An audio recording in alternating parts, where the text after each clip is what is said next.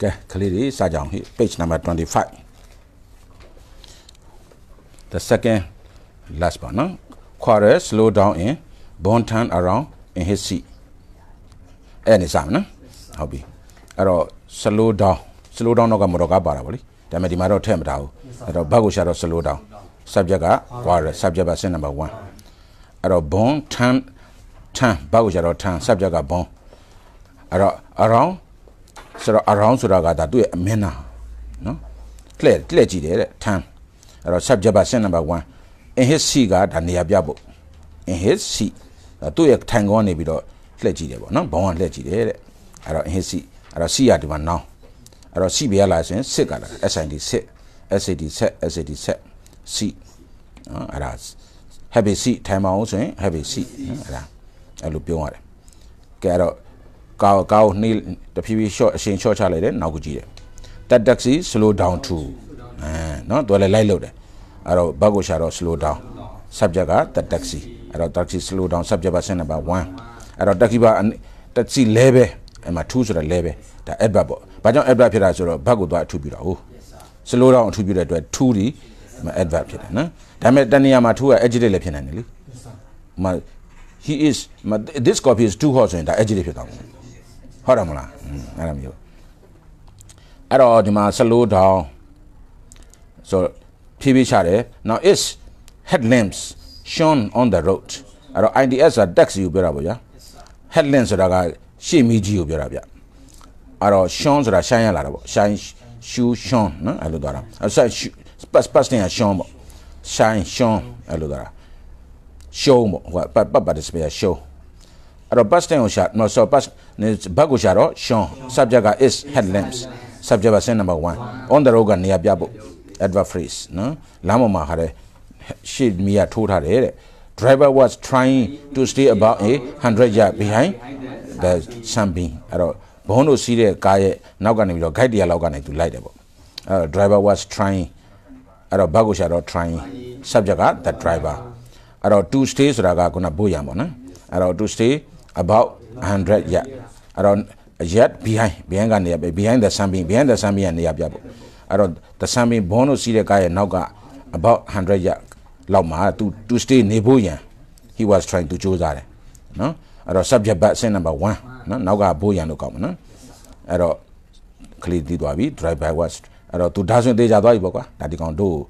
surveillance လုပ်တယ်ပေါ့နောက်ရောင်ခံတာပေါ့နော်နောက်ရောင်ခံတာပေါ့အဲ့တော့ listen carefully bond set အဲ့တော့ဘတ်ကိုရှာတော့ listen subject က you ကွာတယ်ကိုပြောတာပေါ့အဲ့တော့ subject ပါ sin number 1တကယ်လို့ listen နောက်က object ထည့်မယ်ဆိုတူလိုက်ရမယ် listen to me ငါပြောတာနားထောင်နော် listen အဲ့မှာတီးတာမပါရအောင်နော်တီ silent listen တဲ့မဟုတ်ဘူးနော် listen listen to me နားထောင်ပါ carefully တဲ့ဆိုတော့ဒါ adverb မင်းနာကိုပြောတာပေါ့ဗျာကဲသတိထားပြီးနားထောင်တဲ့ bond set subject ပါ sin number 1အဲ့တော့ listen ကိုနည်းနည်းပြန်စဉ်းစားမယ် present နဲ့ listen past နဲ့ ed ထက် past participle ed ထက်နော် listen အနောက်က object လိုက်မယ်ဆိုရင် to ထည့်ပေးနော် listen to အဲ့ဒါကိုသူနောင်ပြောင်းကျင်တော့ listening ပေါ့ L I S T N I N E listening အဲ့တော့ဒီနားနားကြားရေးစွမ်းရည်ဆိုရင် listening power နော် listening skill ပေါ့လို့သုံးတယ်ပေါ့ listening skill အဲ့တော့အခုကလေးတွေဆရာနဲ့ပြန်ကြားရပါတယ်ဒီဒီ junior စာအုပ်ကလေးကိုပဲဖတ်တဲ့ခါမှာတဲ့တချို့ကလေးလေးတွေနော် ခုနှစ်တန်းရှစ်တန်းကလေးတွေပေါ့ဝင်ဖတ်ကြတယ်ဒါပေမဲ့သူတို့ဘာတွေပြောနေမှမသိဘူးတဲ့အဲ့အဲ့လိုအတန်လေးဆရာရှိကိုရောက်ပါတယ်အဲ့တော့ဒါဘာဖြစ်လို့ဖြစ်တာလဲဆိုတော့အဲ့ဒါနားထောင်နေကြမဟုတ် used to မဖြစ်ဘူးစကလုံးတွေ used to မဖြစ်ဘူးဆင်းနေကိုဆရာပြောရတဲ့ used to မဖြစ်ဘူးအဲ့ဒါပရမောင်းလုံးစလုပ်ထားမှာကလေးတွေကခုနဒီဆရာ COC ကိုတေချာလေ့လာနော်ကိုကိုတက်တဲ့လူတွေရှိမယ်သူ့မဟုတ်ခုနဟို download ဆွဲပြီးတော့ကိုဖုန်းထဲကိုထည့် download ဆွဲပြီးတော့လေ့လာအချိန်ကြီးကြည့် အဲ့တော့မှဆရာပြောတဲ့စကားရင်းနဲ့ပို့ပြီးတော့ရင်းနှီးလာမှာ listening ရလာမှာပေါ့နော်အဲ့တော့ listening မရတော့ကလေးတွေကနည်းနည်းလေးစိမ့်တာပေါ့နော်ဘာဖြစ်လို့အဲ့လိုဖြစ်သွားတာလဲဟာဒါဘာဖြစ်လို့ဘာဘာဒါဖြစ်လို့ဘာလို့ဆက်ပြအဲ့လိုဖြစ်နေတာပေါ့နော်အဲ့တော့ရှေ့မှာအဲ့ဒါကိုအရင်လေ့လာပေါ့ကလေးတွေအဲ့တော့ listening နောက်အနေနဲ့ပြောရင်တော့ listening ပေါ့နော်အဲ့ဒါနားထောင်တဲ့လူဆိုရင်တော့ listener ပေါ့နော်ပြောတဲ့လူကတော့ speaker ပေါ့နော် အဲ့တော့ listening carefully carefully ရ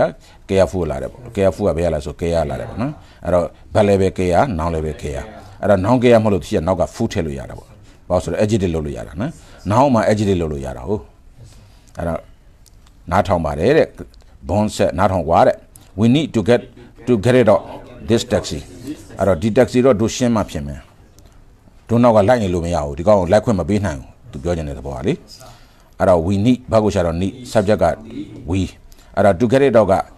ဘိုးရံပေါ့ဒီမှာတော့နော် get it out this taxi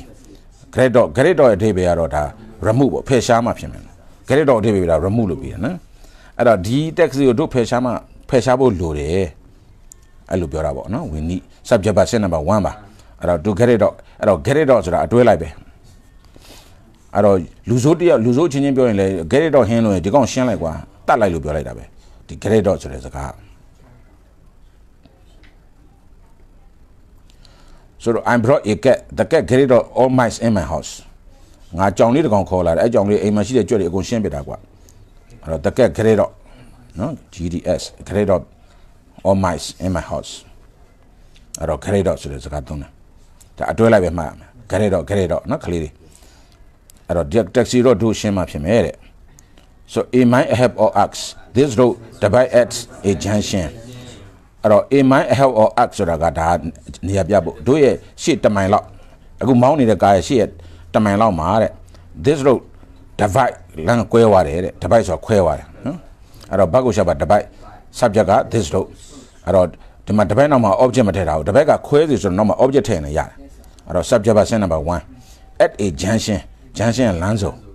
အဲ့တော့ at a junction က ဒါနေရာပြဖို့နော်နေရာပြဖို့ adverb phrase အဲ့တော့ junction ဆိုတော့လမ်းစုံလမ်းကွာ junction အဲ့မှာ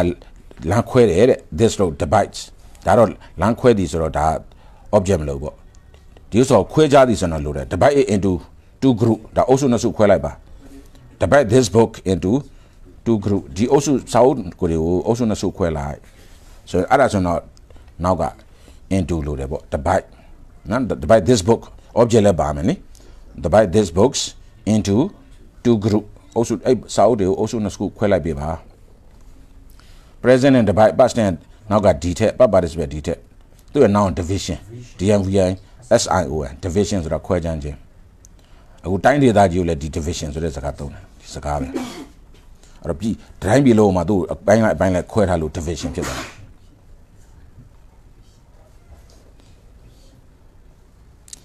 အဲ့တော့အင်္ဂလိပ်ကကဘာကြီးကိုအုပ်ချိုးတဲ့ခါမှာသူအဲ့တိုင်းပြည်မှာရှိတဲ့လူတွေကို divide in rules อ่ะ divide နင် IN in rule အရရလီ rule divide in rule ဆိုတာခွဲပြီးတော့လူတွေကိုခွဲခြမ်းအုပ်စုတာရှမ်းတက်တက်ချောင်းတစ်မျိုးပြောလိုက်ဗမာကိုတစ်မျိုးပြောလိုက်ကချင်တစ်မျိုးပြောလိုက် divide in rules နော်အဲ့လိုလုပ်တယ်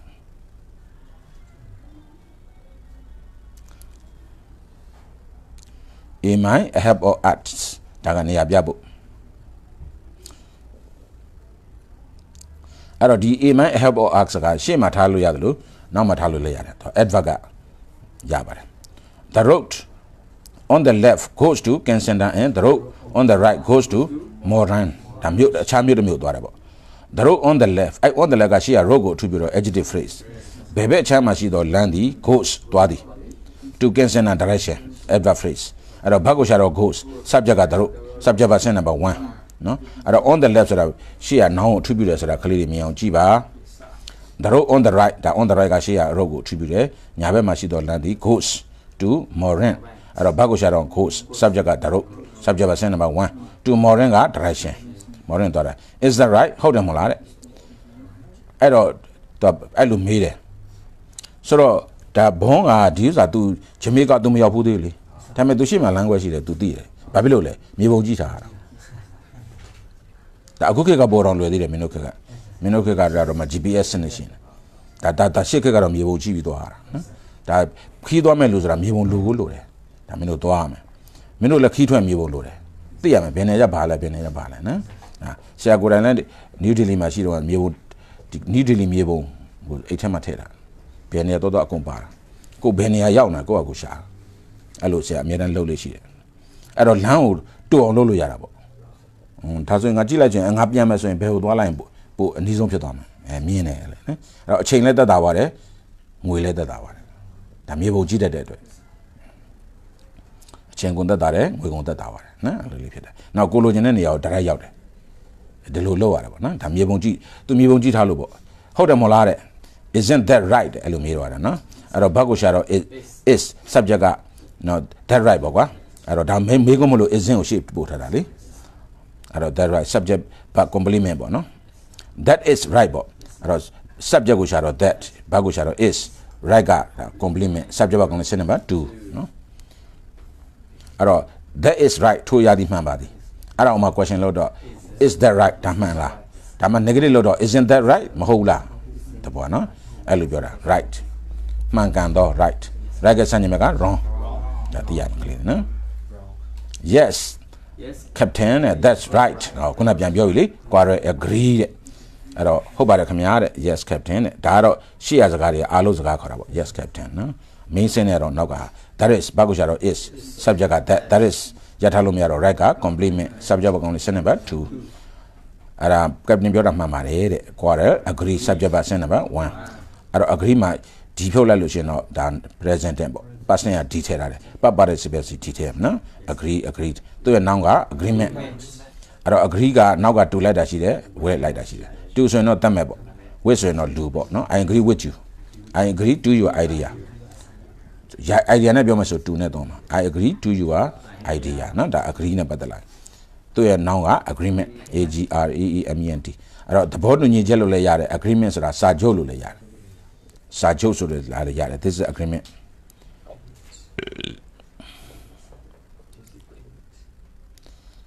အဲ့တော့ the taxi driver thinks that we are going to Kensington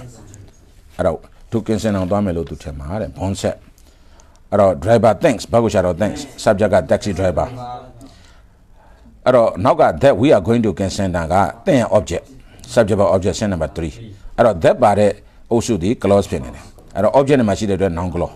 noun clause ဆိုတော့ go နဲ့ကောက်မယ်နော် အဲ့တော့ we are going ဘာကိုရှာတော့ go subject က we we go subject ပါ set number 1 to Kensington က direction အဲ့တော့တို့တွေကင်စင်တန်ကိုသွားမယ်ဆိုတာကို taxi driver ထင်လိုက်မယ် thanks ဒီလိုပြောတာပေါ့နော်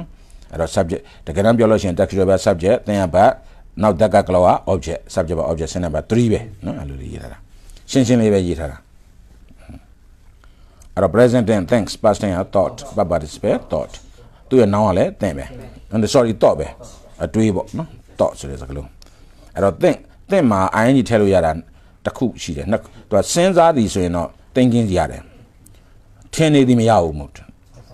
အဲ့မှာကျတော့ ing ထည့်လို့မရဘူးနော်အဲ့ဒါစဉ်းစားနေမှာ ing ထည့်လို့ရတယ်အဲ့တော့ bond set subject ပါဆင်းနံပါတ်1ဟုတ်ပြီအဲ့တော့ the girl with the camera must have given him that information အဲ့တော့ with the camera ဒီရှိရ the girl အထူးပြုတဲ့အတွက် adjective phrase camera ကင်ထားသော main ကလေးအဲ့တော့ဗမာလိုကတော့ဒီစင်ပြေအောင်ဘာသာပြန်ပေါ့ကွာ with the camera camera နဲ့အတူရှိတော့အဲ့လိုတော့မပြောဘူးပေါ့တို့ဗမာသဘောကတော့လေအဲ့တော့မြန်မာဇာရဲ့သဘောတဘာပါပေါ့ကွာ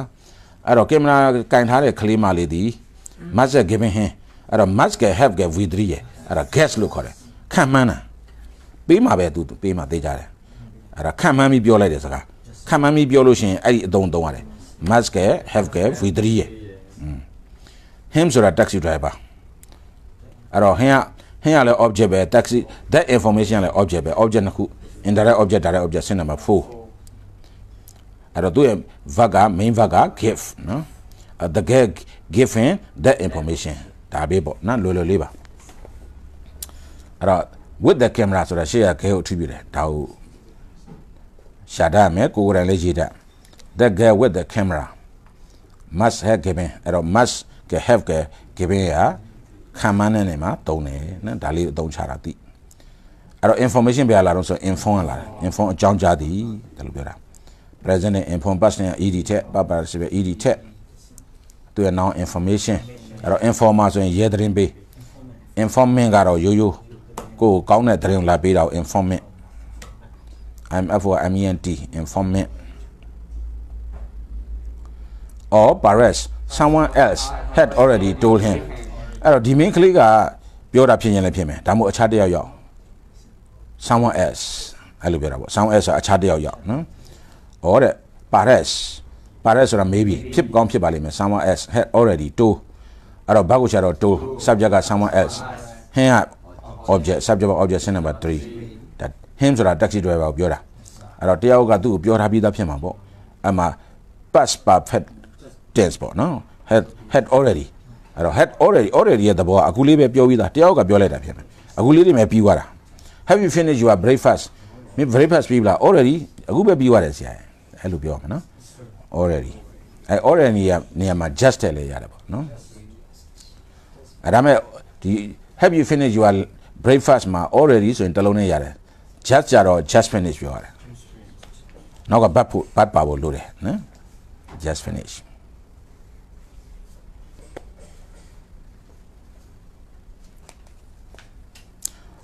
အဲ့တော့ well we are going to Kensington but not yet အဲ့တော့ဟုတ်တယ်တို့ Kensington တော့သွားမှာပါဒါပေမဲ့ဒီလောက်ရဆိုရင်တို့ကလမ်းပြောင်းရတာမလေအခြေအနေရပေါ့ well အဲ့တော့စကားအာလို့တန် well ဆိုတဲ့စကားစကားလုံးဂျာညက်ပြောတဲ့စကားဘာအတိတ်ပဲမှမရှိဘူးနော် အဲ့တော့ we are going ဆိုတော့ဘက်ကိုချတော့ go subject က we go နောက်မှာ object မလို့ subject ပါ sentence number 1 to Kensington direction အဲ့ဒါ adverb phrase direction အဲ့တော့တို့က Kensington ကိုသွားမှာပါ but not yet အခုမဟုတ်သေးဘူး not yet နော်အခုမဟုတ်သေးဘူးအဲ့သေးလို့သုံးကျင်လို့ရှိရင် yet သုံးတယ်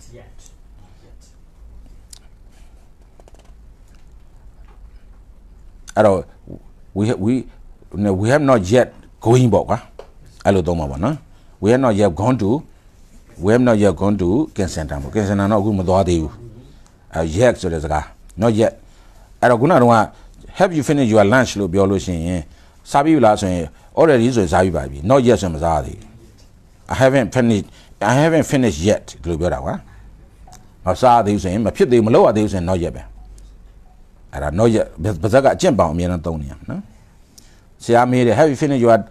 your lesson have you finished your exercise exercise တွေပြီးပြီလားကွာ not yet sir ပြီးသေးလို့ဆရာ please wait a few minutes ခဏလေးစောင့်ပေးပါနော်အဲ့တော့ not yet not yet ဆိုတဲ့စကားလည်းအရင်သုံးရတယ်ဗျအဲ့တော့ yet ဆိုတဲ့စကားလုံးကဟိုစာကြောင်းနောက်မှာနေမယ်ဆိုရင်တော့ they လို့သူအဓိပ္ပာယ်ထွက်တယ်ဒီ yet ကစာကြောင်းအထိဆုံးရောက်သွားရင်တော့ but လို့အဓိပ္ပာယ်သို့တော်လို့အဓိပ္ပာယ်ထွက်တယ်အဲ့တော့ yet ဆိုတဲ့စကားစာကြောင်းပုံမှာမူတည်တော့သူအဓိပ္ပာယ်တွေအပြောင်းလဲရှိတယ်အဲ့တော့ quarrel when i tell you i want you to accelerate suddenly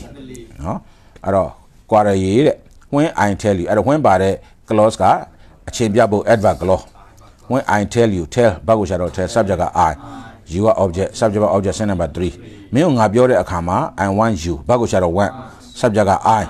you က object အဲ့တော့ subject က object sentence number 3 to accelerate ကဘိုးရင်အရှိန်မြင့်အောင် accelerate ခေါ်တာ accelerate go at the speed ပေါ့ကွာအရှိန်မြင့်ပေါ့နော် turn up the speed ပေါ့အဲ turn up the speed ဆိုတဲ့စကားကို accelerate လို့သုံးမယ်ဒါသူစကားလုံးက suddenly ကမင်းသားရုတ်တရက်အရှိန်မြင့်လိုက် i want you to accelerate အဲအရှိန်မြင့်တဲ့ lever ပေါ့တို့ရက်စကားတော့ lever ပေါ့အဲ့မှာသူနှင်းပြောရင်တော့ accelerator အဲ့လိုပြောရတယ် accelerator T O R A C C L E R A T O R accelerator အဲ့တော့ accelerate ကဒီလိုအရှိန်မြင့်တာတို့ဘာလို့သုံးတယ်လို့တခြားနေရာတွေမှာဒီဒီတဲ့ပိုကောင်းအောင်ဒီတဲ့ပိုမြန်အောင်လုပ်တာကြီးလဲ accelerate သုံးတယ်အဲ့တော့ဆရာမကြီးဒေါက်တာမျိုးချစ်ရေးွားတာတော့သူစဉ်းစားတာ I accelerate my brain အဲ့လိုသုံးတာဖိအားပေးတော့ကောင်းအရင်စဉ်းစားတာအဲ့လိုပြောတယ်နော်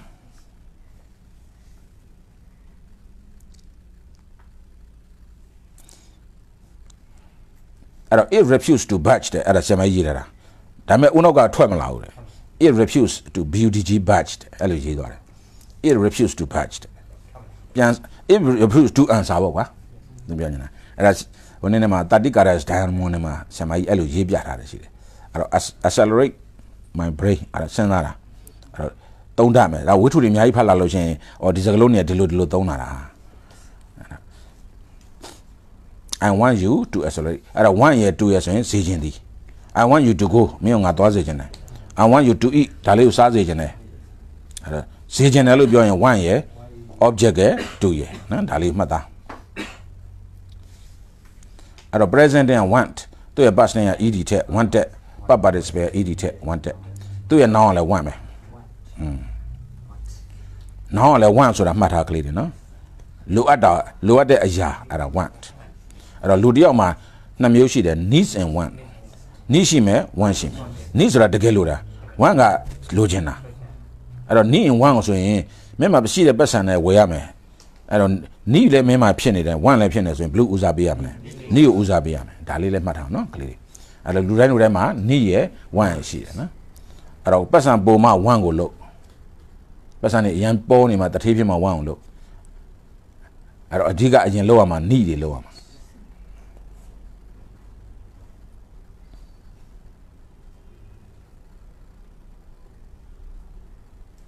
အဲ့ဒါနိနဲ့ဝမ်းနဲ့ကအများအားရှင်းလာလိမ့်မယ်နော်ဘာပဲဖြစ်ဖြစ်အဲ့ဒါကိုကစဉ်းစားအဲ့ဒါနောင်းနေနဲ့သုံးတာနိလဲနောင်းလို့သုံးတာဝမ်းလဲနောင်းလို့သုံးတာနော်အဲ့တော့တယောက်ကမေး what is your one what is your need လို့မေးဖြေတတ်ရမယ်ငါမှ need ကတော့ဒါပဲငါ want ကတော့ဒါပဲနော်ဖြေတတ်ရမယ် what is your want what is your need နော်လို့ပြောတာအဲ့တော့ accelerator ကတော့ဒါကရိယာပေါ့သူ့ရဲ့နောင်းပြောရင်တော့ acceleration ပေါ့ A C C L E R A T I O N acceleration အရှိန်မြင့်ခြင်းပေါ့ဗျာ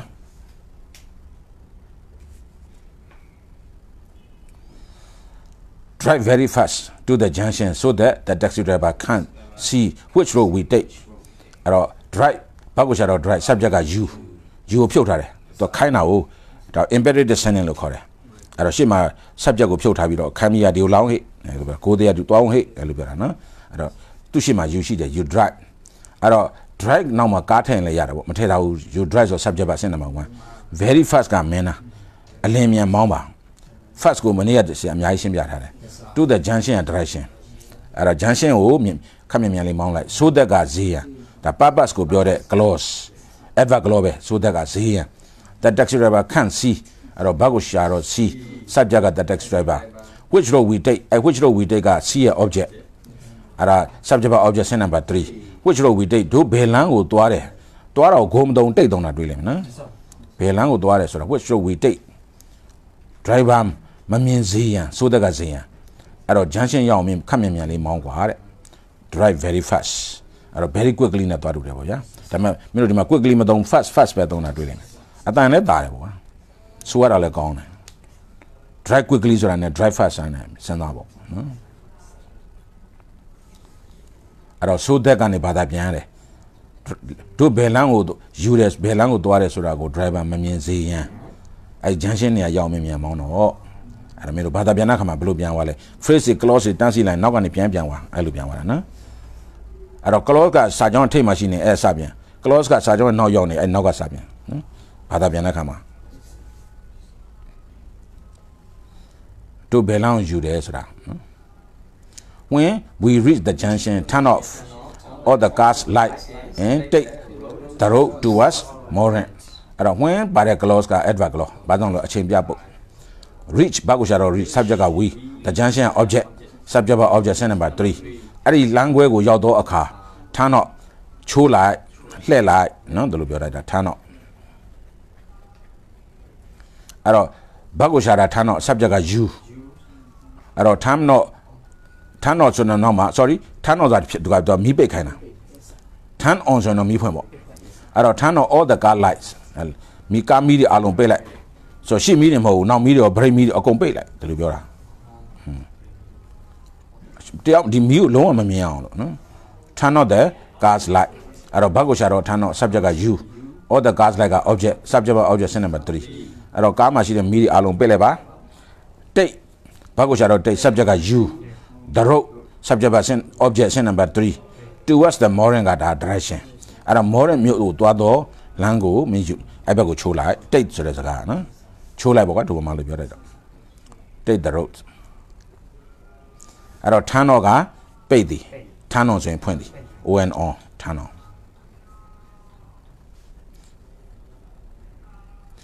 stop after 500 yards အဲ့တော့ဘက်ကိုရှာတော့ stop subject က you အဲ့တော့နောက်မှာကားကိုမပြောတော့ဘူး stop ကား stop တဲ့ကားလို့မပြောတော့ဘူး subject percent number 1 after 500 years ဆိုတာကနေရာပြဖို့မိုက်ခိုင်း900လောက်ပြီးတဲ့နောက်မှာတဲ့ခိုင်း900လောက်ရောက်ပြီးသွားရင်တော့ကားကိုရက်လိုက်တော့တဲ့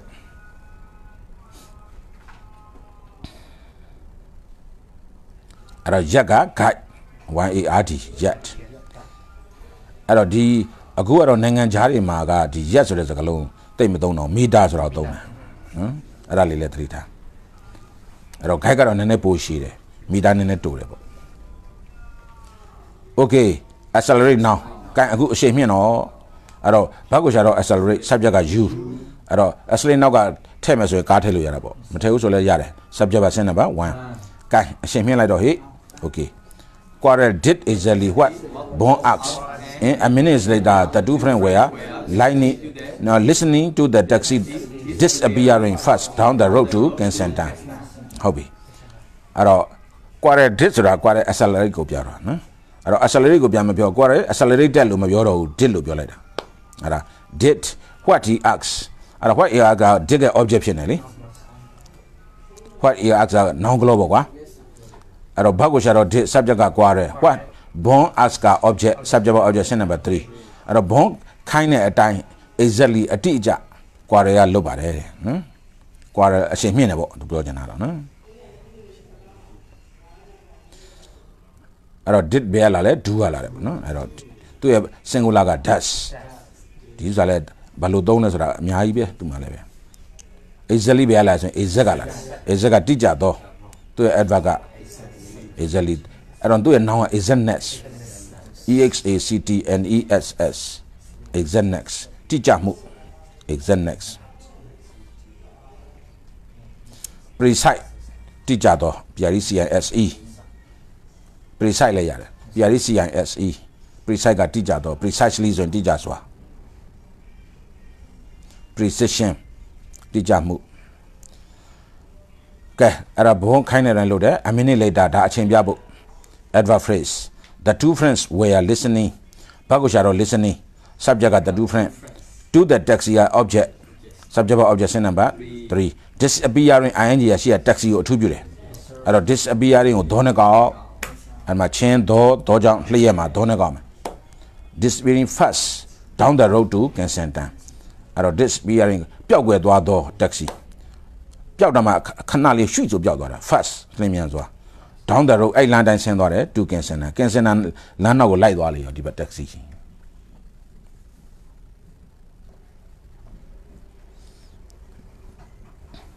အဲ့တော့ listen နဲ့ to နဲ့ကိုတွဲခေါ်မှဆိုရင်လည်းခေါ်နောက်က taxi taxi က object ပေါ့ကွာဘာဖြစ်ဖြစ် object ကြီးပါပဲသူကနော်ကန်စင်တန်သွားတော့လန်တိုင်းနဲ့အဲ့မှာ down ဆိုတာအဲ့တိုင်းလန်တိုင်းနဲ့လှင်မြန်စွာပျောက်ကွယ်သွားတော့ taxi ကိုသူတို့ကြားလိုက်တယ် နားထောင်လိုက်တယ်နော်တူဖရက်ကြားလိုက်တယ်တဲ့ half an hour later quarrel stopped the sunbeam outside the blue hill hotel အဲ့တော့ half an hour later ကဒါအချိန်ပြဖို့ဖြစ်တဲ့အတွက် adverb phrase quarrel stop the sunbeam ဘာကိုရှာတော့ stop subject က quarrel the sunbeam က object အဲ့တော့ sunbeam ဆိုတာကားမျိုးစားလी subject က object sin number 3 outside the blue hill hotel ကနေရာပြဖို့ဆိုတော့ adverb phrase အဲ့တော့ blue hill hotel ရဲ့အပြင်ဘက်မှာကားကိုရလိုက်တယ်တဲ့အဲ့ဒါ sin number ဘယ်လောက်လဲဆိုတော့မင်းတို့တွေ့ပြီ subject stock က but quarrel subject the sunbeam object subject က object sin number 3 Neither men noticed the big black taxi which stopped on the dark street opposite the hotel. အဲ့တော့ neither ဆိုတာဘယ်လူမှအဲ့တော့တို့အင်္ဂလိပ်တွေကတော့ neither ထွက်တယ်ပေါ့အမေရိကန်တွေကတော့ neither လို့ထွက်တယ်ပေါ့ကြိုက်တယ်ထွက်ပါ နားလဲပါတယ်ဗျဘယ်သူမှဘယ်ရောက်ဘယ်ပုံကိုတယောက်ကမှသတိမထားမိဘူးအဲ့ဒါ neither men notice ဘာကိုရှာတော့ notice subject က neither men အဲ့တော့ the black taxi က object subject က object number 3 which stop on the dark side dark street opposite the hotel အဲ့တော့ which ကရှိရ taxi ကိုအထူးပြုတယ်အဲ့တော့ which က adjective ကလောအဲ့တော့ဘာကိုရှာတော့ stop subject က which subject က sin number 1 on the dark side dark street on the dark street အဲ့ဒါဒါဟိုဘက်နေရာပြဖို့ opposite the road ဆိုတာကလည်းဒါနေရာပြဖို့နော်အဲ့တော့နောက်အဲ့လိုတန်းစီလိုက်ပဲနောက်ကနေစကောက်ဟိုတယ်ဤမျက်နှာချင်းဆိုင် opposite ဆိုမျက်နှာချင်းဆိုင်ဟိုတယ်ဤမျက်နှာချင်းဆိုင်ဖြစ်တော့ on the dark street မှောင်နေတဲ့အပိုင်းမှာရက်သွားသောအနစ်ရောင်တက္ကစီကိုဘယ်သူမှသတိမထားမိဘူးအဲ့တော့နိုင်သားမင်းလို့ပြောတယ်မပြောရင်နောက်တစ်မျိုးပြော no one notice ပေါ့ no one notice ဘယ်လို့မှသတိမထားမိဘူး သူပြောလို့ရတယ် no one notice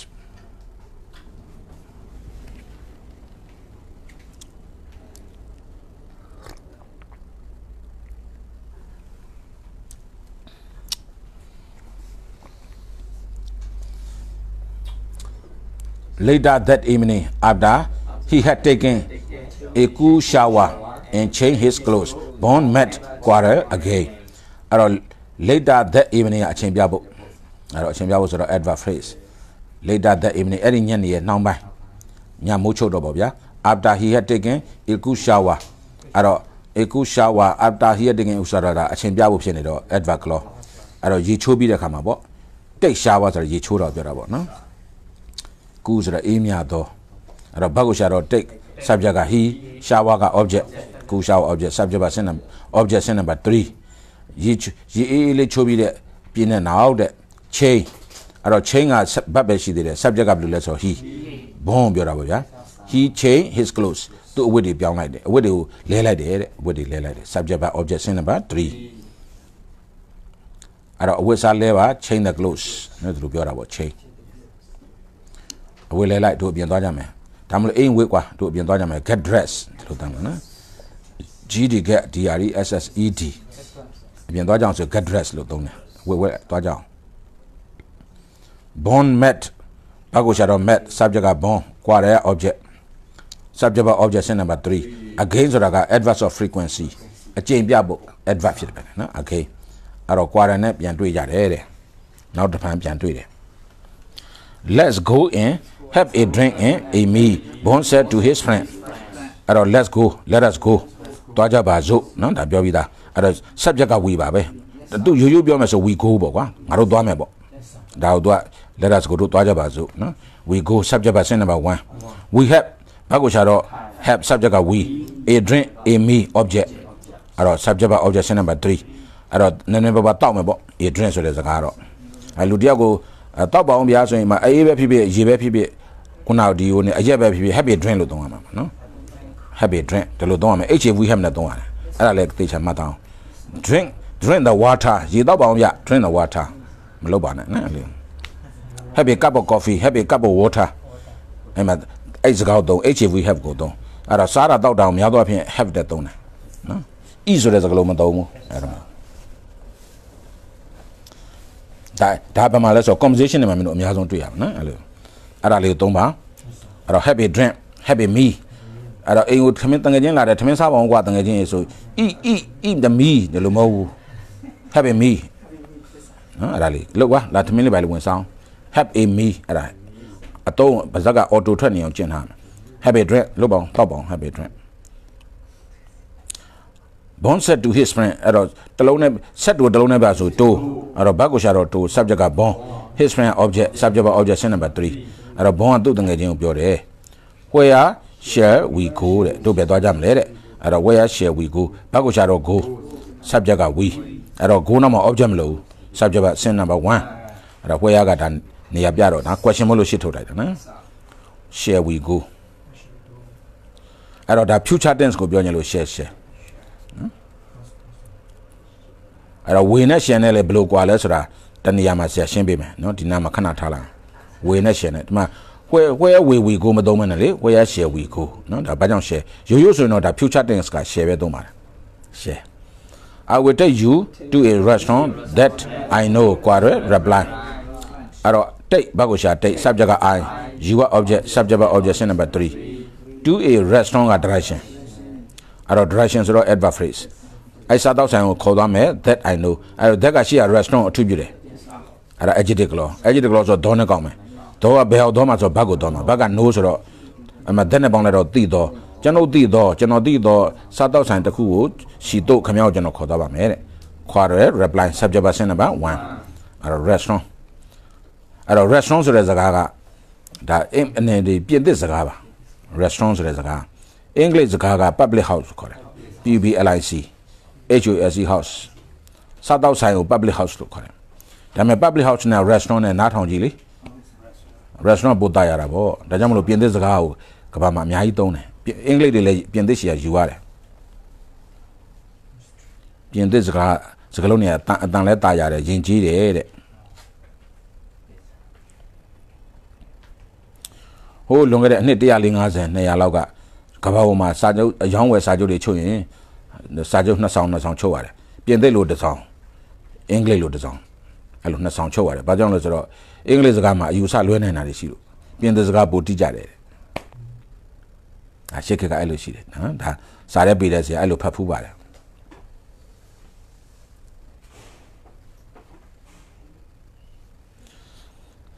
အဲ့တော့တိတ်ယူခမြောက်ကျွန်တော်ခေါ်သွားမယ်ခေါ်တော့တိတ်ဆိုတဲ့စကားလုံးသုံးတယ်အဲ့ဒါလေးလည်းမှတ်ထားအောင်နော်ခေါ်သွားမယ်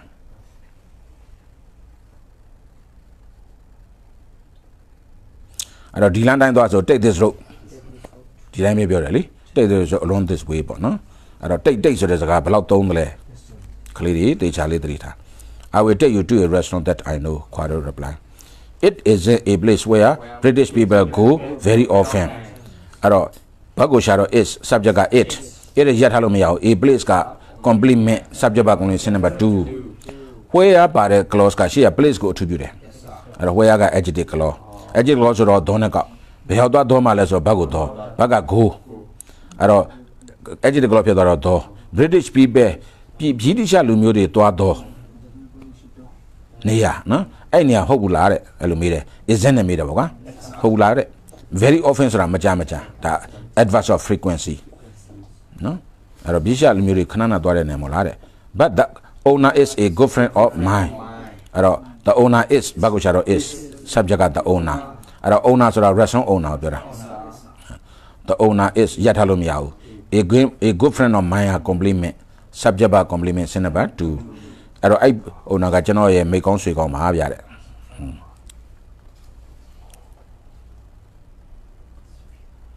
အဲ့တော့ restaurant owner လို့ပြောနိုင်တယ်လို့ restaurant keeper လို့လည်းပြောနိုင်တယ်ဆိုင်ပိုင်ရှင်ကို shop keeper လို့ပြောတယ်လေ KEP ရဂိုးဆောင်တယ်လို့ goal keeper အဲ့လိုသုံးတယ်လို့ပဲနော် keeper ဆိုတဲ့စကားလုံးသုံးတယ်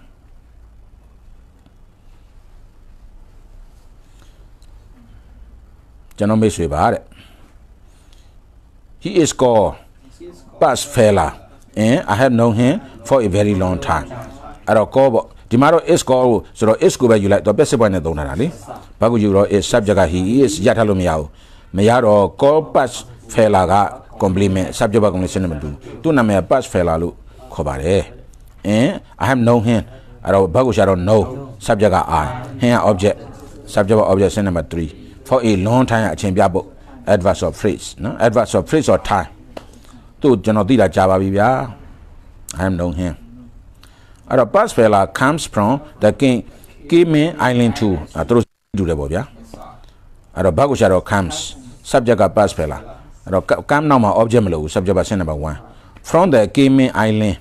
from the Cayman Island က direction အဲ့တော့ direction ဆို adverb phrase or direction အဲ့တော့ adverb phrase ပါနော်အဲ့တော့ Cayman ကျွန်းကနေပြီးတော့သူ level လာတာပါ level က2ပေါ့နော်သူ level we used to go fishing together အဲ့တော့ used to ဆိုတဲ့စကားဒါလက်ရှိသည်လှုပ်လက်ရှိသည်ဒါပေမဲ့တော့ past tense မှာပဲသုံးလို့ရတာ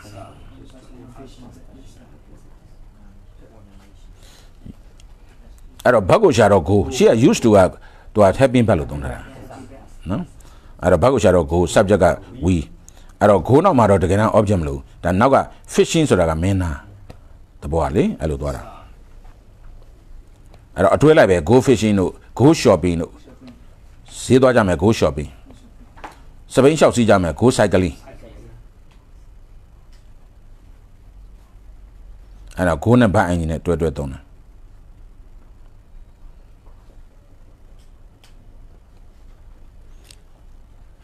ကျွန်တော်တို့အဲ့ကေးမင်းအိုင်လင်းမှာကျွန်းမှာရှိတော့ခဏခဏနှစ်ယောက်သားကျွန်တော်တို့ငါးသွားမြားလေးရှိပါတယ် used to go နော်ချီက used to ကဒါ having verb လို့သုံးထားတာပေါ့နော်အဲ့တော့ used to ကဒီမှာ having verb ဖြစ်သွားတယ်နောက်တနေရာမှာ used to က adjective you should be used to english အဲ့ဒါကျတော့ adjective လို့သုံးတာ you should be used to used to နောက်ကနောင်းလိုက်တယ် you should be used to english အင်္ဂလိပ်ဘာသာစကားနဲ့မင်းအကျွမ်းအကျွမ်းတဝင်တင်းရင်တင်းရှိရှိတဲ့တယ်အဲ့မှာ used to က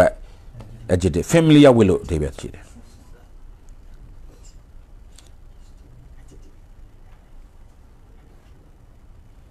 အဲ့တော့ used to ပြီးတော့ကျတော့ဒါဒီ happy verb ဖြစ်တယ်သူက habitual past လို့ပြောတာဆရာအဓိပ္ပာယ်ကလေးတွေကိုပေးထားတာ habit h a b i t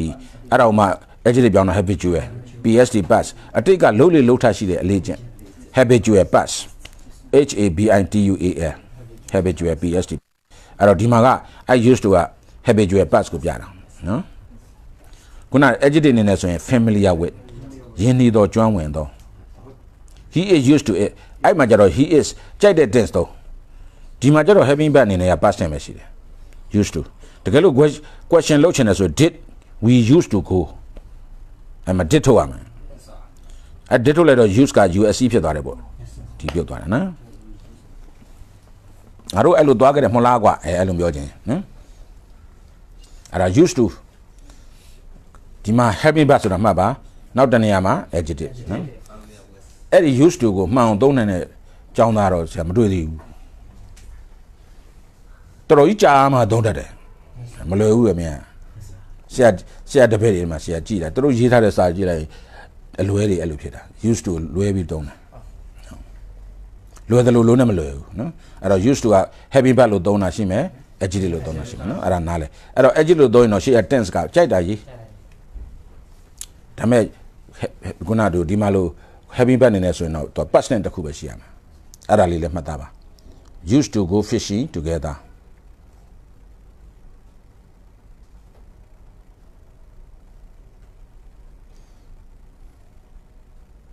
အဲ့တော့ခီးဝေးလမ်းလျှောက်ကြမယ်ဆိုရင် let us go hiking h a h i k i n hiking go hiking ဒါလိုသုံးတယ်ပေါ့ကွာခီးဝေးလမ်းလျှောက်တာပေါ့နော် go hiking go cycling go fishing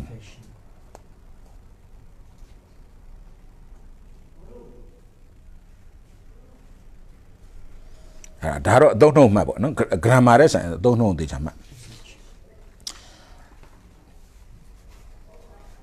each of us own how about the boat that we use အဲ့တော့မတမော boat လေးတစ်စီးရှိတယ်သူတို့နှစ်ယောက်ပိုင်တယ်ပေါ့နော်အဲ့တော့ each of us own ဘာကိုရှာတော့ own subject က each of us how about the boat ကဒါ object own ရဲ့ object subject က object ဆင်းနံပါတ်3တယောက်တစ်ဝက်ပိုင်တယ်တဲ့ how about the boat that we use အဲ့ that ကရှိရ boat ကိုအထူးပြုမယ်အဲ့တော့ that က adjective clause adjective clause ဆိုတော့ဒေါနဲ့ကောင်းမယ်အဲ့တော့ဒေါတော့ဘယ်အောင်သွားသွားမယ်ဘတ်ကိုတော့ဘတ်ကဘာလဲ use အဲ့တော့ use က3သည် adjective clause ဖြစ်တော့3တော့ကျွန်တော်တို့3တော့အဲ့ဒီဘုတ်ကတယောက်တစ်ဝက်ကိုကျွန်တော်တို့ပိုင်ပါတယ်အဲ့တော့ each of us own အဲ့လိုသုံးပါတယ်ဗျအဲ့တော့ USED ဆိုတာသူက past tense သုံးတာဘယ်လာဆို use ကလာဟမ် use ကအသုံးပြုသည် you can use it မသုံးလို့ရပါတယ်ဒါ you can use it အဲ့တော့ use ကဘာဖြစ်တယ်လို့ noun လဲ use ပဲ noun လဲပဲ use ပဲနော်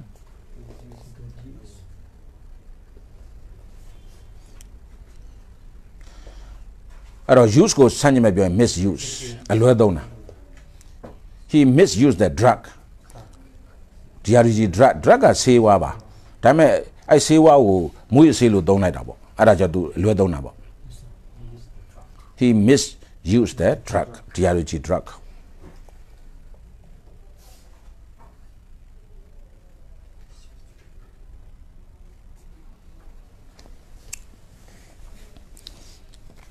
အဲ့တော့ use ကသူကဘတ်အနေနဲ့ကြတော့ဒါသိပြီသား person ကဒီထဲပတ်ပါတယ်ဆိုပဲဒီထဲနောက်က use အဲ့သူ adjective မှာတော့ useful usefully ဒီလိုတော့နေပါနော် useful အဲ့တော့ you must be useful person မင်းလူပြည်မှာအသုံးဝင်တဲ့လူတော့ဖြစ်အောင်လုပ်ပေါ့ကွာအမိုက်တော့မလုပ်ပါနဲ့ you must be useful person အဲ့စကားလည်းတော့လေးနေပါတယ်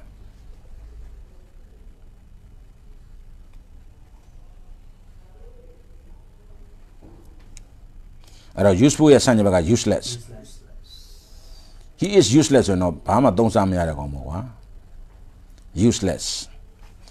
uselessly ပေါ့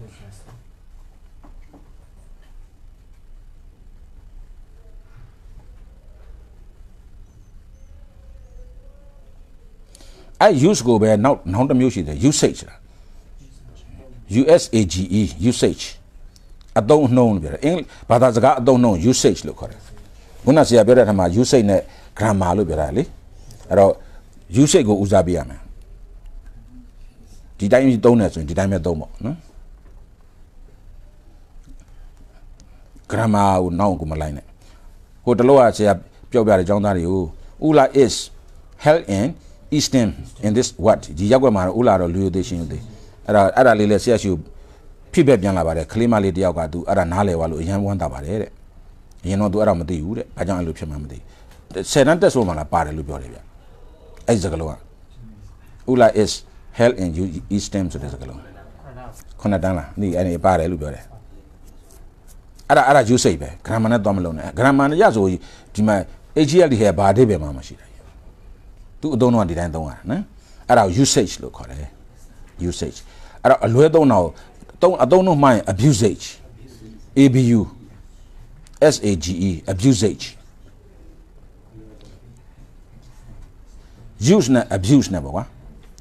ABUSE အလွဲသုံးတာခုနမှားပြီးသုံးရတာ abuse ABUSE misuse နဲ့မတူဘူးတမျိုးစီ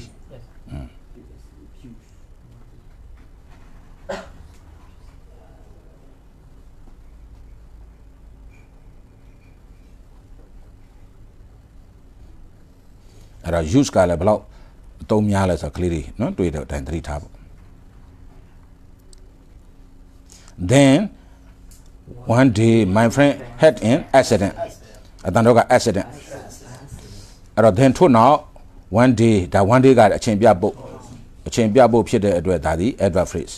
my friend had ဘာကိုရှာတော့ had subject က my friend an accident က object subject က object number 3အဲ့တော့ accident တစ်ခုဖြစ်သွားတယ်ပေါ့ကွာ မတော်တဆမှုလေးတစ်ခုဖြစ်တယ်ဒဏ်ရာရသွားတယ်ပေါ့အဲ့တော့ accident က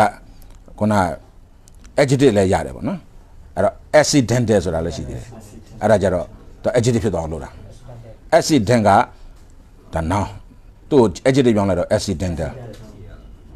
D N D A L accidental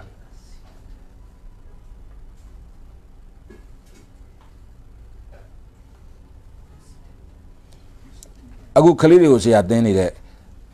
ဆရာဆရာမြင့်တဲ့ grammar မသင်ဘူးလားအခုမင်းတို့သင်နေတာပဲ grammar ပဲဒါပေမဲ့အဲ့တော့ accidental grammar လို့ခေါ်တာ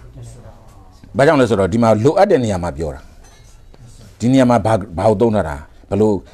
နော်ဘလို့ဘတ်ကိုသုံးတယ်ဘလို့လှုပ်ထားတယ်ဒါဘာ noun ဒါ object လိုအပ်တဲ့နေရာမှာပြောပြပါတယ်အဲ့ဒါကိုဒါ grammar ဘာလို့စာအုပ်ကြီးနဲ့တတ်တတ်ချမသင်ဘူး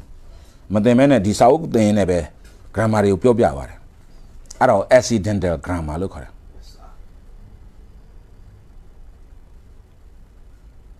အဲ accident တွေကိုသုံးထောင်လို့သူကရုတ်တရက်ပေါ်လာမှရုတ်တရက်ဖြစ်တာဟုတ်အဲ့တော့ grammar စာအုပ်ကြီးတအုပ်ထဲကိုတတ်တတ်ကြီးသင်နေတာမဟုတ်ဘူးအဲ့တော့အဲ့ဒါအဲ့လိုသင်ရင်လည်းအရင်ပြင်းစရာကောင်းပါလေကလေးတွေမကြိုက်ဘူးနော်အဲ့တော့ accidental grammar လို့ခေါ်တယ်အဲ့တော့ grammar သင်တာမှာနှစ်မျိုးသင်တယ်ပေါ့ cover teaching နဲ့ over teaching လို့ခေါ်တာ COVRT cover COVERD cover teaching ဆိုတာအခုဆရာသင်တာပေါ့ grammar လို့မပြောဘဲနဲ့ grammar ကိုသင်သွားတာအဲ့ဒါကို cover ဆိုတော့ဖုံးအုပ်ပြီးသင်တယ်လို့ခေါ်တာ cover teaching overt OVERTING overt teaching ဆိုတာဖွင့်ပြီးသင်တာဒါ grammar ဟေးဒါတော့8 part of speech ဒါတော့ဝါစင်က7ပါအဲ့တော့ noun ဆိုတာဘာကိုခေါ်တာ verb ဆိုတာဘာကိုခေါ်တာ adjective ဆိုတာဘာကိုခေါ်တာအဲ့လိုတွေအဓိပ္ပာယ်ဖွင့် အဲ့ဒါဆိုရင်အဲ့ဒါကိုဘာဆို over teaching လို့ခေါ်တာနော်ဖွင့်ပြီးသင်တယ်လို့ခေါ်တာအခုကဖုတ်အုပ်ပြီးသင်တာ grammar ရဲ့လို့မပြောတော့ဘူးဒါ but ဒါ adjective ဒါ adverb ဆရာမင်းတို့ပြောပြပါတယ်နော်အဲ့ဒါကို cabat teaching လို့ခေါ်တယ်မှတ်ထားတာအဲ့တော့ accidental grammar တော့မဟုတ် cabat teaching က he was barely injured အဲ့တော့ဘတ်ကိုရှာတော့ what subject က he he was ရထားလို့မရတော့ injured က complement subject က complement number 2 badly ကဒါမင်းလားဆိုးဆိုးရွားရွားဒဏ်ရာရသွားတယ် badly နော်အဲ့တော့ injured i n g u r e တော့ဒီမှာ passive voice မလို့ v3 နဲ့ရေးထားလို့ d ထက်တာ present က i n g u r e injured past နဲ့ d ထက် past participle d ထက်အဲ့တော့ဒီမှာရေးထားတာ past participle သူ့ရဲ့ noun injury i n g u r y အဲ့တော့ he had the head injury in the road accident အဲ့တော့ကားလမ်းကားတိုက်မှုမှာသူခေါင်းထန်ရတယ် head injury foot injury ကြိုက်တာတော့မဟုတ်ဗျာ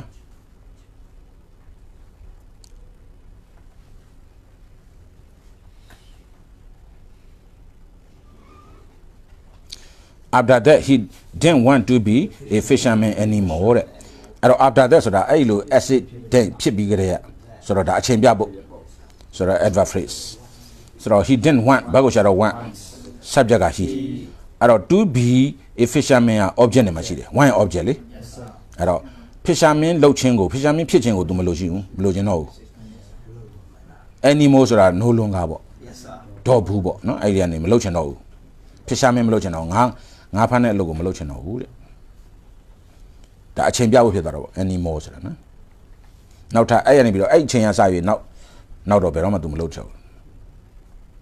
အဲ့တော့ဘတ်ကိုရှာတာ1 subject က he to be a fisherman object subject က object ဆင်းနံပါတ်3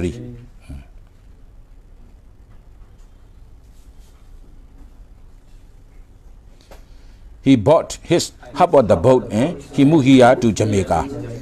အဲ့တော့ he bought ဘာကိုရှာတော့ bought subject က I sorry I bought his hub on the boat အဲ့တော့ his hub on the boat က boy object subject object ဆင်းနံပါတ်3အဲ့တော့သူ့ရဲ့တက်ဝက်ကိုကျွန်တော်ပေးလိုက်ရတာပေါ့အမ်းလိုက်တယ်ပေါ့ဒုဗမာလိုပြောလိုက်တော့ကျွန်တော်အမ်းလိုက်တယ်ကျွန်တော်အမ်းလိုက်တယ်ဆိုတော့ I bought လို့သုံးလိုက်တယ်ဗျအဲ့တော့အဲ့တမောနဲ့နဲ့ပတ်သက်ပြီးတော့တန်နဲ့တန်ကြီးကိုကျွန်တော်သူ့အမ်းလိုက်တယ် I bought ကျွန်တော်ဝယ်လိုက်တယ်ဆိုတဲ့စကားသုံးတာကွာနော်ဒါပေမဲ့တို့ဗမာစကားမှာတော့အမ်းတယ်လို့ပြောတာပေါ့ I bought his how about the boat subject ဘာ object ဆင်းနံပါတ်3 he move ဘာကိုရှာတော့ move subject က he အဲ့တော့ move ဆိုပြီးတော့နောက်ကမှ to Jamaica direction လေအဲ့တော့ move ပဲထားပါတော့ he move subject ဘာဆင်းနံပါတ်1 he ကနေရာပတ်ဖို့ to Jamaica direction နော်အဲ့တော့ဂျမေဒီနေရာမှာဂျမေကာမှာရှိတဲ့ဒီနေရာကိုသူရွှေ့လာတာအဲ့တော့တနေရာနဲ့တရာအပြောင်းရွှေ့လို့တာမူပြောင်းရွှေ့ပြီးတော့လုံသမားတွေကိုမူပါမှတ်မိလိမ့်မယ်လေသူ successful living နဲ့မှာပါတယ်လေမူပါဆိုတာ အေးအပြောင်းရွှေ့လုပ်တဲ့အလုံသမားတွေ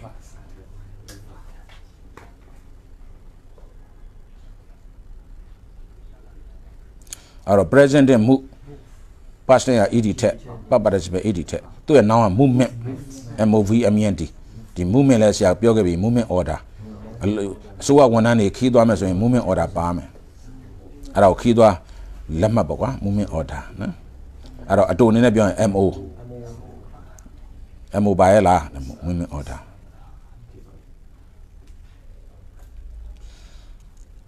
အဲ့ဒါနောက် mood တစ်ခုက no i am moved to see this man ဒီရုပ်ရှင်ကြည့်ရတာငါစိတ်ထိခိုက်တယ်ဝမ်းနေလိုက်တာဝမ်းနေတော့ပြောတာပါ i am moved m o v e d to see this man အဲ့ဒါ passive voice နဲ့သုံးရတာအဲ့လိုမသုံးရင် this point this man move me ပေါ့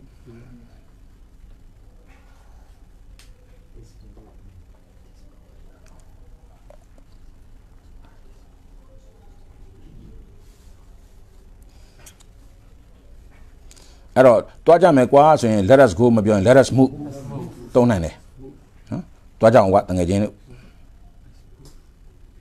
let us move အဲ့လိုပြောလို့ရတယ်အဲ့ဒါရုပ်ရှင် moving picture ဆိုတာဒီကနေလာလှုပ်ရှားနေတာလေ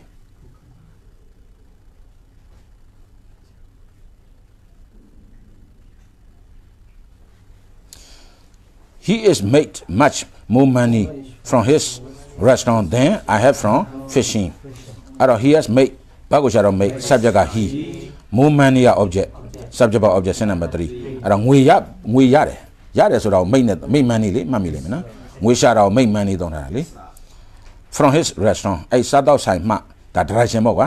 စားတော့ဆိုင်မှာပတ်စံနေတော့ရတယ် then ဆိုတော့ဒါ comparison လောက်တာ comparison ဆိုတော့ adverb clause နော် adverb clause ဆို comparison I have နောက်က money ပေါ့ကျွန်တော်ရတဲ့ပတ်စံ from fishing ငါးငါးလုပ်ငန်းမှာရေလုပ်ငန်းမှာကျွန်တော်ရတဲ့ပတ်စံတဲ့စာရင်သူ့ရဲ့ restaurant ကပို့ရတယ်အဲ့လိုပြောတာပေါ့နော်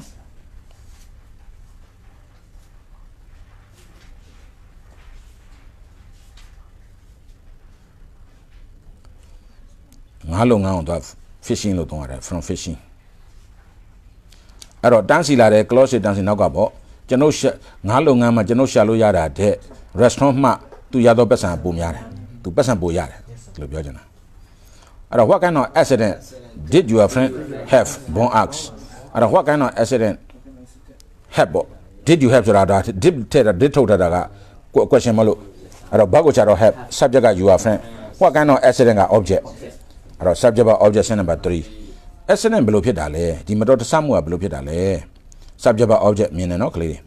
အဲ့တော့ born ask subject က set number 1 born ကမေးတယ် a bad one captain quadro reply seriously အဲ့တော့ a bad one ဆိုတာအဲ့1က accident ကိုပြောတာ a bad accident လို့မပြောတော့ဘူး a bad one အဲ့1ဒီ pronoun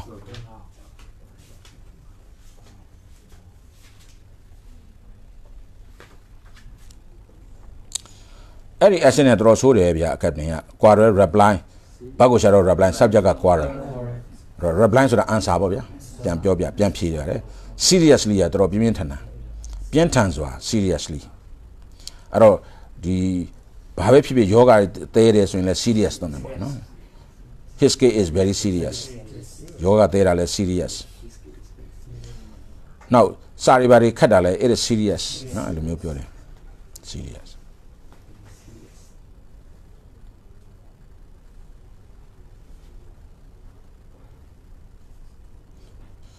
အဲ့တော့ I'm serious I'm not joking ငါမင်းကိုခုနအတီးပြောနေတာမင်းငါနောက်တာမဟုတ်ဘူး I'm not joking နောက်တာပေါ့နော် I'm နောက်တာမဟုတ်ပါဘူး I'm serious ငါအတီးပြောတာအဲ့အတီးပြောတာဆိုရင်အဲ့မှာ serious သုံးပါ I'm serious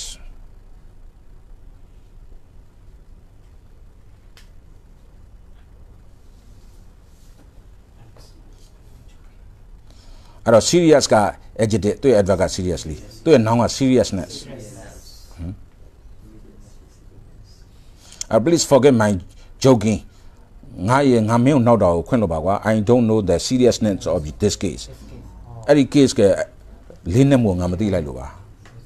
I don't know the seriousness of this case အမ seriousness don't damn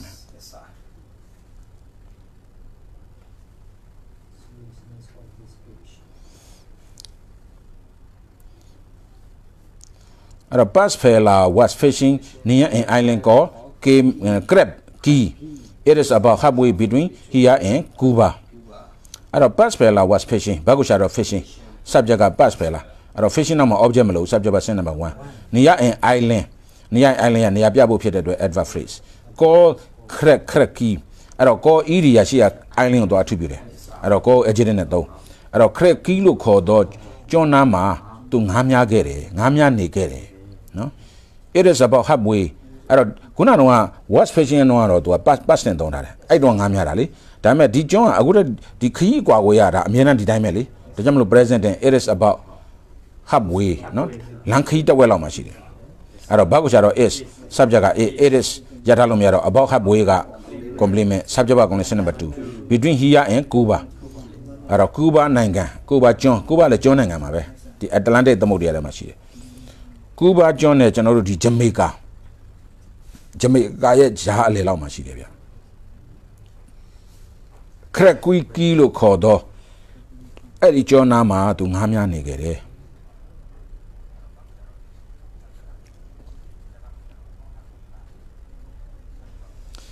အဲ့တော့နိုင်ငံကကူဘာလူလူမျိုးကကူဘန် K U B A N ကူဘန်တို့ဗမာတွေကတော့ကျူးဘာလို့ထွန်းနော် Cuba. A huge creature came out of the sea. အဲ့တော့ဘာကိုရှာတော့ came subject က a huge creature အဲ့တော့ object မလို့ subject က sentence number 1 out of the sea က direction အဲ့တော့ပင်လယ်ထဲမှာအေယာမတရဝါကြီးတစ်ခေါင်ထွက်လာတယ် creature ဆိုတာတရဝါ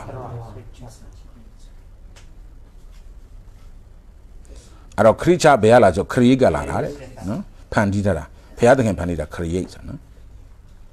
အဲ့တော့ hue က air မကြီး creature ကတရဝါ hue treasure came လာတယ် out of the sea ဒီလိုဖြစ်ရမယ် out of the sea out of the sea ဆိုတာဒါ direction ပေါ့နော်ပင်လယ်ထဲနေဝုန်းနေဆိုအကောင်ကြီးထွက်လာတယ်ဗျာတဲ့အဲ့တော့ဘာဆက်ဖြစ်လဲနောက်တစ်ပတ်ဖတ်ကြတော့ပေါ့ကွာဒီလောက်နဲ့နားကြရအောင်နော်ကြမ်းမှချမ်းသာပါစေ see you senior reading senior reading မှာပြန်တွေ့ကြမှာခဏနားကြ